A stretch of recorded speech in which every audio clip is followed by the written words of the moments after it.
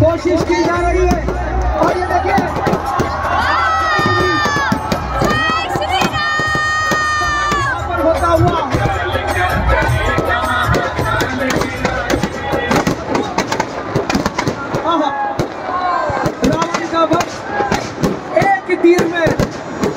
बाण में यहाँ पर होता हुआ नमिका जी असत्य पर सत्य की जीत।